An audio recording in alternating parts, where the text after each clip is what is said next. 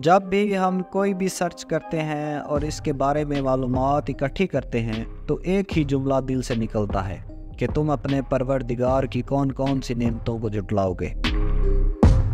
अगर दुनिया से मक्खियाँ ख़त्म हो जाएँ, तो आपने सोचा है कि इंसानों पर कौन सा असर पड़ेगा। आज की इस वीडियो में हम आपको बताएँगे अगर मक्खियाँ ख़त्म हो जाएँ तो इंसानों का इस दुनिया में रहना नामुमकिन कैसे हो जाएगा? गुज्त दिनों मक्खियों को दुनिया की अहम तरीन मखलूक के तौर पर तस्लीम किया गया। मक्खियाँ ऐसा क्या करती हैं कि इनके बगैर इंसानों की ज़िंदगी भी मुमकिन नहीं है, बल्कि तस्वुर ही नहीं किया जा सकता कि इंसान इस कुर्र अर्ज़ पर ज़िंदा भी रह सकता है। और इसके साथ साथ आपको ये भी बताएँगे कि हम कैसे मक्खियों को महफूज कर सकते हैं। जैसा कि आपको मालूम है कि इंसानी ज़िंदगी का दारो मदार फ़सलों और पौधों पर है। हमें सत्तर फ़ीसद खुराक इन्हीं फ़सलों से मैसर आती है। पौधे और फ़सलें, फलों और सब्जियों का अहम ज़रिया हैं। क्या आपको मालूम है कि मक्खियाँ पौधों की नशोनुमा के लिए अहम किरदार अदा करती हैं?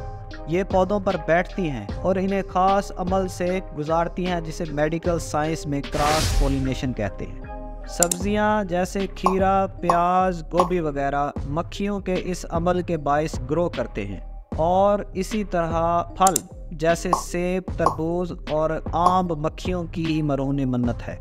आइए आपको ये भी बताते हैं कि अगर मक्खियाँ दुनिया में कम हो गई तो इंसानों पर इसका क्या असर होगा? अगर मक्खियाँ ख़त्म हो जाएँ तो ये सब्ज़ियाँ जिनका नाम हमने लिया है और ये फल, ये भी ख़त्म हो जाएँगे।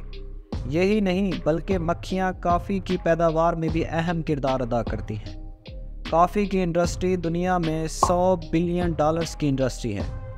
हैरत अंगेज़ तौर पर बादाम और पिस्ता भी इन मक्खियों की वजह से ही हम हासिल कर पाते हैं। कपड़े जो हम पहनते हैं, ख़ास तौर पर काटन का कपड़ा, ये भी मक्खियों की ही मरहून मन्नत है। काटन दुनिया में सबसे ज़्यादा पसंद किया जाता है और दुनिया भर में 60 फ़ीसद ख़वातीन और 75 फ़ीसद मर्द इसको इस्तेमाल करते हैं। इस तरह जानवर वही फ़सल खाते हैं और इसी से पलते हैं जिस पर मक्खियों का अहम किरदार है। आज हमारे पास खाने के लिए, फ़सलें, पहनने के लिए, कपड़े और जानवर ना हो तो क्या हम आसानी से जी सकते हैं? जो कि नामुमकिन सी बात लगती है। अगर हम इंसानों को कुराए अर्ज़ पर चलता फिरता देखना चाहते हैं तो हमें चाहिए कि इन मक्खियों को ज़िंदा रखें। मक्खियों को बचाने के लिए मुख्तलिफ़ इकदाम हो सकते हैं, और हकूमती सतह पर कंपेन भी चलाई जा सकती है। इस बात से साबित ये होता है कि अल्लाह ताला ने कोई भी मखलूक बग़ैर मकसद के नहीं बनाई। हर मखलूक का कोई ना कोई मकसद है। और इससे हमें ये भी पता चलता है कि जहाँ मक्खियों के नुकसान हैं, वहाँ फ़वाद भी हैं। उम्मीद है आज की वीडियो आपको पसंद आई होगी। अगर पसंद आई है तो हमारे चैनल को सब्सक्राइब कर दें और वीडियो को शेयर कर दें। तो मिलते हैं अगली वीडियो में। तब तक के लिए मुझे और मेरे टीम मेंबर हसन लतीफ़ को इजाज़त दीजिएगा। अल्लाह हाफिज़।